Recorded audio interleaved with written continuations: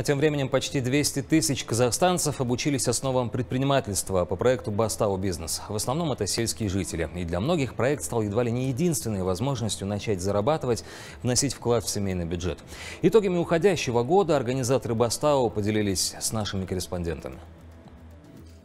Своих выпускников проект «Бастау Бизнес» поддерживает и весьма охотно, ведь многочисленная армия учеников ежегодно получает микрокредиты и всевозможные гранты. Благодаря поддержке государства уже запустили порядка 55 тысяч проектов. Практически 70% – это грантовое финансирование в рамках программы «Янбек», а 30% – финансирование за счет микрокредитов. Проекты в сфере сельского хозяйства составили 60%, остальные 40% приходятся на сферу торговли и оказания услуг услуг. При этом выпускниками программы созданы порядка 70 тысяч рабочих мест.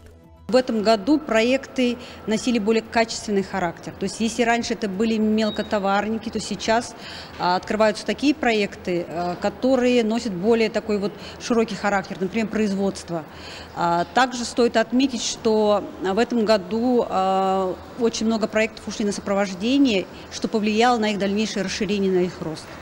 И также хочется отметить, что с каждым годом, особенно в 2021 году, финансирование для наших предпринимателей по проекту «Бастау Бизнес» увеличивается.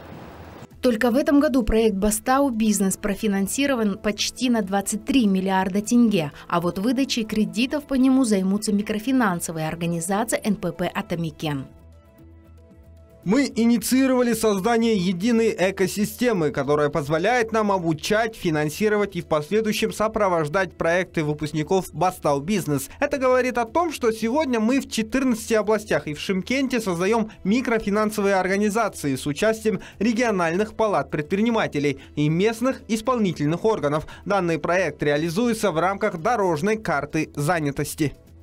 Такое ноу-хау пришлось по душе начинающим предпринимателям. От них уже поступило порядка 2000 заявок на микрофинансирование. Если верить прогнозам, то за счет этого к следующему году ожидается открытие 5000 новых предприятий и 10 тысяч новых рабочих мест, а также солидного увеличения объема налоговых платежей в бюджет.